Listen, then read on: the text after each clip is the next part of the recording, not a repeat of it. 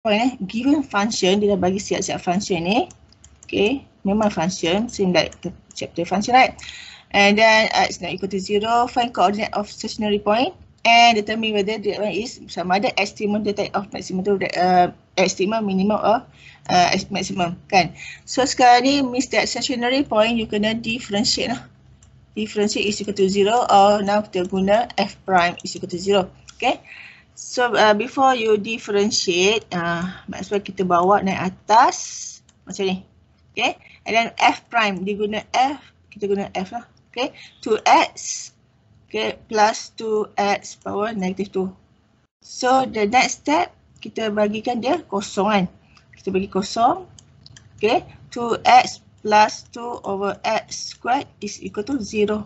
Okay, next step is uh, confirm one mark lah ni. Okay, yang sini uh, what confirm normally whatever your answer kat sini okay you differentiate even though careless ke apa tapi you equals equals dengan zero still one mark eh. Then now kita nak cari by equating the, the denominator. Okay dan you dapatlah because of since uh, apa since x not equal to zero atas tu kena zero lah. Kan dia dah bagi syarat dia kan?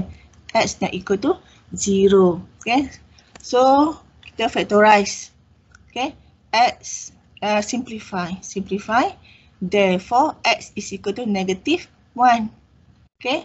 So, dia nak cari the type of ni lah. You kena tengok. Okay. Uh, cari the maximum minimum.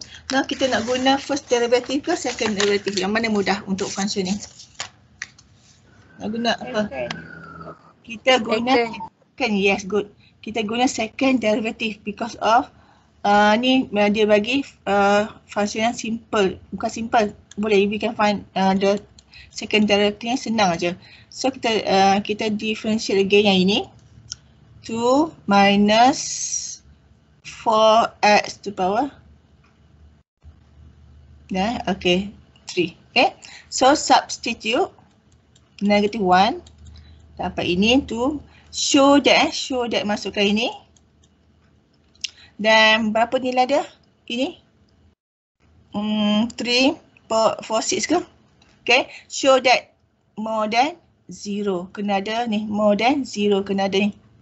So kalau if no more than zero, uh, zero dia punya, is it dia tanya point? Sekejap, kita tengok eh. Dia tanya coordinate. Coordinate means point kan? So point eh, coordinate. So kita cari y lah, y. Yang ni maximum eh, Max, eh minimum maximum. Minimum right? Okay. Minimum.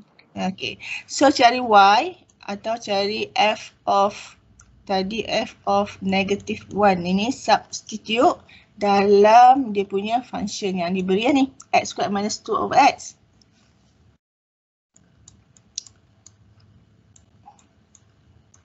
Okay, masukkan dia akan dapat apa? Uh, is it 3? Therefore, negative 1, 3 is a relative minimum. Okay. Ataupun um, oh kita tak menjawab semua soalan. Seput, sepatutnya soalan dikata uh, find the coordinate of stationary point. Kat sini dah awak cari dah. Hmm. Nah, siap-siap cari ni ni suppose berada kat sini. Hmm, kat sini. Before you differentiate for the second time. Eh? Uh, tapi tak apa, ini cover lah. Letak kat sini. And then therefore, uh, 91, uh, 3 uh, is a sek, apa stationary point dah siap-siap. Okay yang ni dan baru kita proceed kepada second derivative. Dan dapat uh, oh dia adalah relative minimum macam tu. Okay marks kat sini adalah 5 eh. 5 mark kat sini ada 2 mark sana.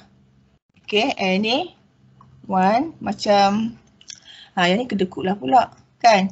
Show ini minimum and then cari ni satu je sekejap. Banyak juga maka 1 2 3 4 5. Oh tak cukup markah ni. Tak cukup markah. Hmm, tak apalah. Mungkin dia tak ada soalan ni mungkin pemarkahan dia dia tak buat sebenarnya saya yang buatkan eh. So inilah. Okey, settle eh. You dapat sim as main tak? Even solution.